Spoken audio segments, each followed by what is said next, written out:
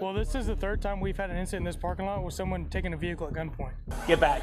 58, 12, you're not Back up. over. Drop the knife now. Drop it.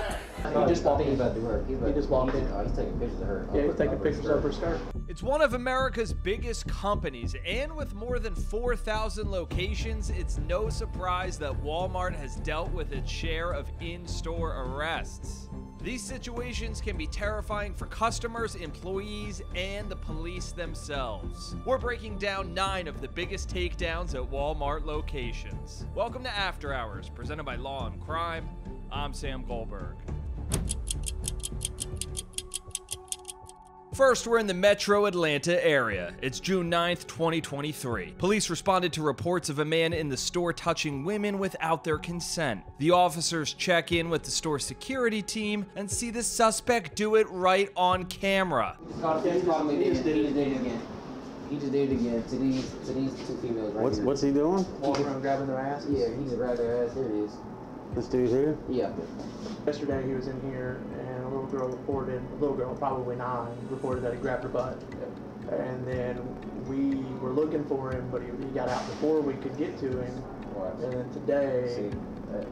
Uh, he just walked in. He's about to do her. He's about He just walked he's, in. Oh, he's taking pictures of her. yeah, he's taking pictures of her skirt. All right. Yeah. Well, let's just, Oh, let's he's just done. get- Let's go. Let's go. When officers approach the suspect, later identified as Gary Moultrie, he decides to take off. Move, move. Coming outside. General merchandise.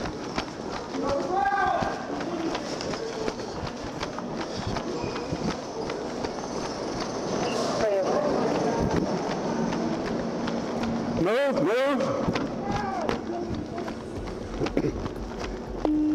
106 radio DFS. Subject was radio on foot. 10 4. The chase then picks up in the garden center where the man tries to tell another officer that he has a daughter who he needs to help. But then he decides to take off running again. I've got him at the garden center. Stop! Stop! Stop! My daughter is like right there, and she needs some help now. Glasses, black shirt, camo pants, black shoes. now. He's running back the other way. All right, he's go- he's going back into Walmart.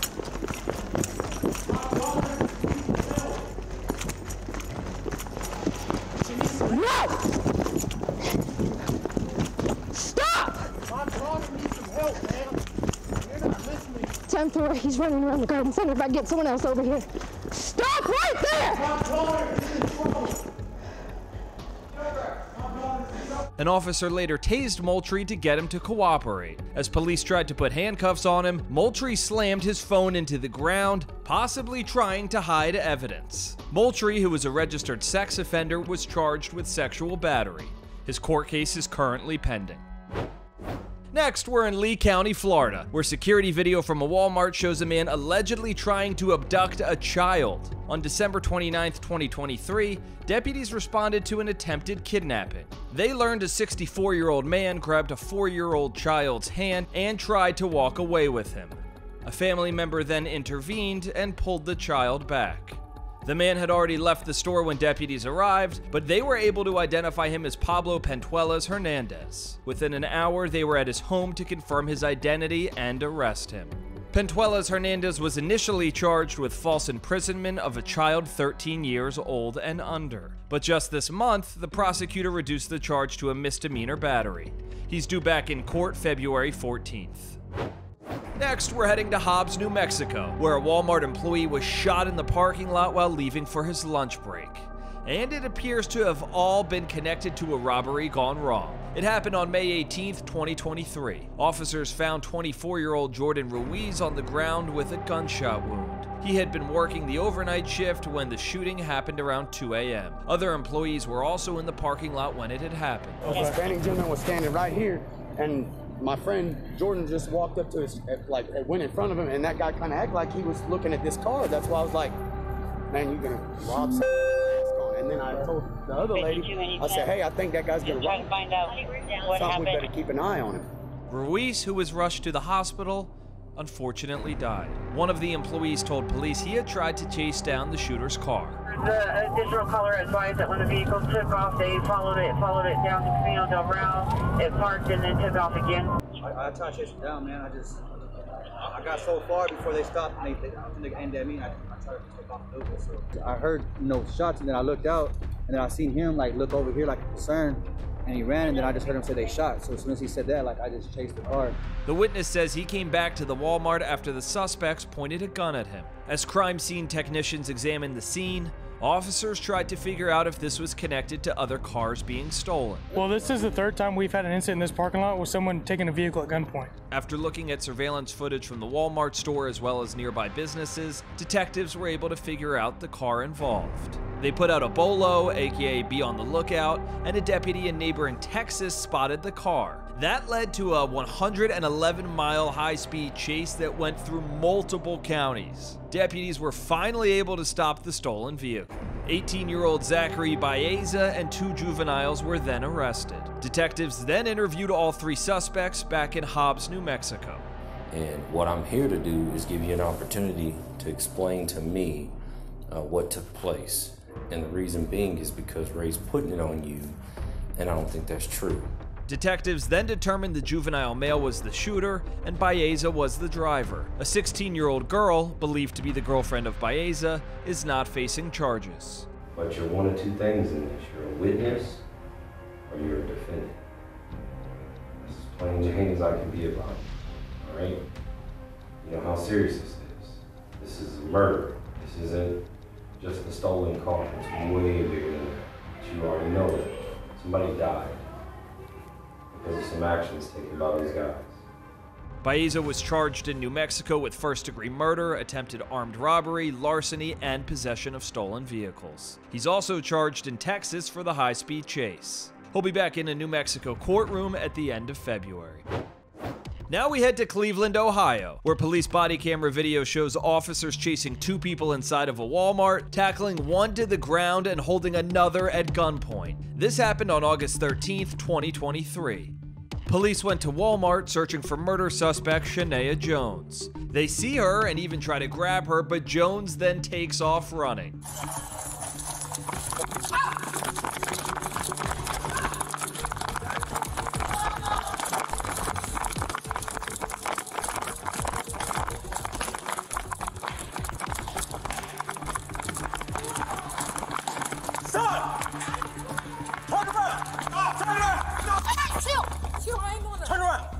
Jones eventually falls and officers handcuff her. There's a police cruiser already parked outside the Walmart tire department. Officers also stopped a man trying to leave through the front door of the store. They identified him as Walter Robinson Jr. Get on the ground. On the ground. On the ground now. Right now. On your belly. On your belly. Hands me on your back. Robinson swears he didn't do anything wrong. Why are you running? Because she was running. They were chasing her. Who's chasing who? So you just start running? Yeah, that's not how that works. That's not how it works, buddy. Cleveland detectives believe Jones was part of a shooting over the summer that left one man dead and another wounded. Police say Jones and Robinson had been at that Walmart multiple times, staring down an employee who was a relative of one of their victims. Jones is now facing charges for murder and felony assault. Both she and Robinson are also indicted for stalking and obstruction. So I think it's pretty clear from watching After Hours, as I know everyone does every single week, the world isn't always the safest place. It's important to realize if you're ever seriously hurt, your injury could actually be worth millions. That's where Morgan & Morgan, a proud sponsor of After Hours, comes in. Morgan & Morgan doesn't just settle for lowball offers. In the past couple months, they've seen verdicts of 12 million in Florida, 26 million in Philadelphia, and 6.8 million in New York. And here's the kicker the fee is absolutely free unless you win.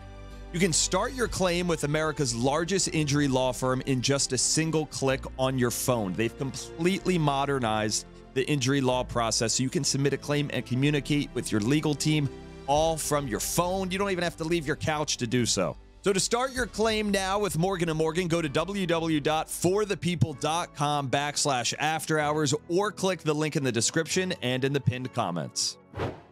Next, we're inside a Walmart store in Marion County, Florida. It's Wednesday, March 30th, 2022, just before 2 o'clock in the afternoon. Drop the knife now! Drop it now! Drop the knife! Police responded to reports that this woman, Brandy McCown, was threatening other customers in the store with a knife. Get back. Back up. Drop the knife now! McCown seems to believe that law enforcement has somehow harmed her loved ones. Drop the knife. Drop it now. Put it down. Backup arrives and you can see McCown look toward a female deputy who was standing behind a sales rack.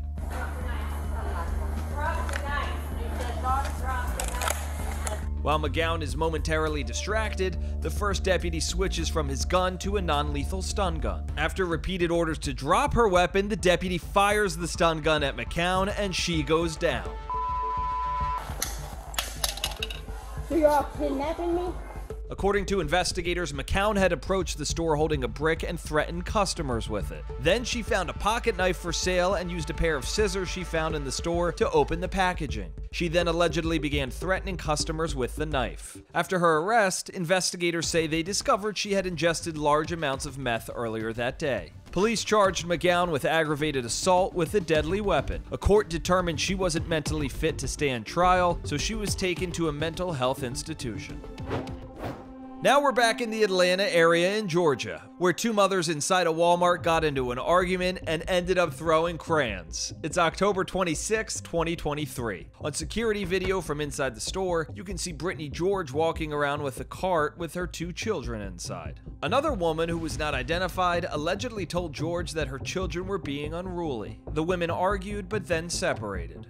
Later in the video, when George spots the other woman again, she throws a box of crayons at her, hitting the other woman's child. A Walmart employee attempts to intervene, but things escalate, with George lunging at the woman and allegedly hitting her in the face. George drove away before police got there, but they were able to identify her and arrest her. George was charged with child cruelty and simple assault. At the time of this recording, her court case is listed as pending. Now we go to the Peachtree City, Georgia. Body camera footage shows police inside a Walmart store after a teenager allegedly started a fire. Police department, everybody out! It happened on August 24th, 2022. Officers worked their way through the building to make sure no one was left inside. 10-4, you can evacuate all neighboring areas. It's a very large fire that cannot be put out. Officials say a 14 year old girl admitted to intentionally starting the fire in the paper products aisle. It took nine hours for emergency crews to put out the flames, which caused extensive damage to the building. The teenager was charged with first degree arson and sentenced to juvenile court. Because she's a minor, her name has not been released. We end today's episode in Deltona, Florida. It's September 14th, 2022, around 7:30 p.m. Police were called out to a Walmart store because employees and customers spotted two little kids running around the parking lot in the rain. The kids ran out of the vehicle and uh, they're half naked. Which vehicle? This one right here. Looks like you got him dressed. Awesome. We got the children's clothes. Okay. I tried to check on him, ask him if he needed medical attention. He's drooling out of his mouth. Eyes rolling in the back of his head. Yeah, I'm in contact. Start. The man appears to be unconscious in the front seat and the engine's running. Hey, wake up. Wake up. Wake up. Hey, what are you doing? Sorry. Step out. What happened? Step out. He seems confused when the officer asks him repeatedly about the children that were with him. Where are your kids at? You got some kids? No, they're not his kids. Who else you have in the car with you?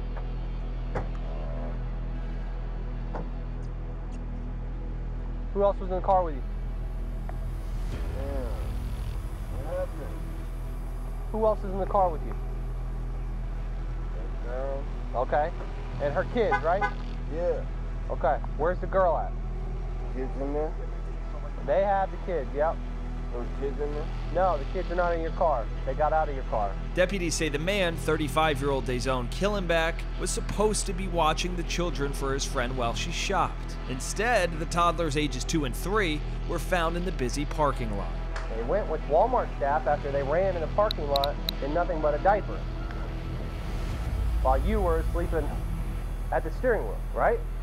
So for now, Put your hands behind your back. Deputies say Killingbeck had a straw in his lap when he woke up that was later tested and had oxycodone and fentanyl inside. Killingbeck was charged with child neglect, possession of drug paraphernalia, tampering with evidence, and driving on a suspended license. He pleaded no contest and was given two years of probation. Thanks for watching. Law and Crime After Hours is written and produced by Savannah Williamson. Video editing is done by Michael Deininger, and audio editing by Brad Mabey. I'm Sam Goldberg. We'll see you next week.